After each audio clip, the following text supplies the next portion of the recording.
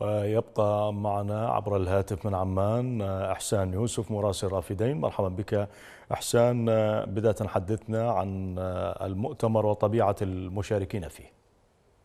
نعم اليوم عقدت هيئة علماء المسلمين في العراق المؤتمر العلمي الثاني وكان بعنوان المقاصد الشرعية بين الإعمال والإهمال في الدراسات الحديثة والمعاصرة.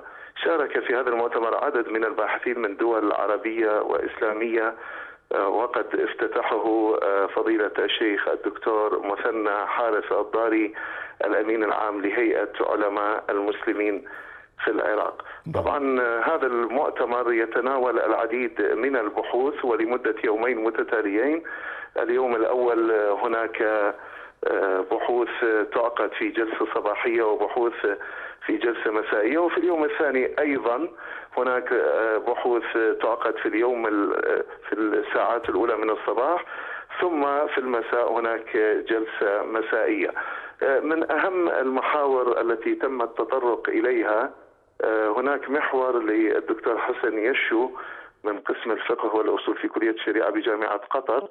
وأيضا للدكتور أحمد كسار الخبير اللغوي في معجم الدوحة التاريخي للغة العربية وكان البحث بعنوان المقاصد والعلوم اللغوية. نعم. نعم. يعني طبيعة هذه البحوث التي تناولها المشاركون أحسن. نعم طبعا هذا هذا هذا المؤتمر العلمي الثاني للهيئة يأتي تعزيز لروح الصمود مقاومة التحديات التي تحيق بهوية العراق وشعبه. تأكيد على أن العلم هو منار طريق الرقي والتقدم.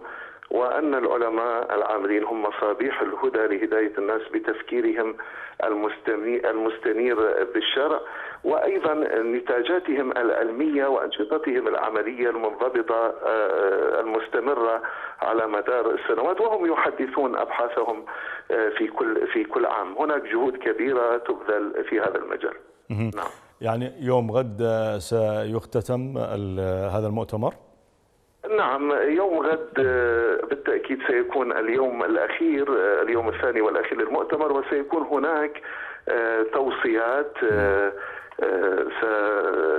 سيتم تلاوتها في نهاية المؤتمر وما توصل إليه الباحثون والمشاركون في هذا المؤتمر وأيضا ستوزع الدروع للمشاركين في المؤتمر وذلك لجهودهم الكبيرة في ذلك.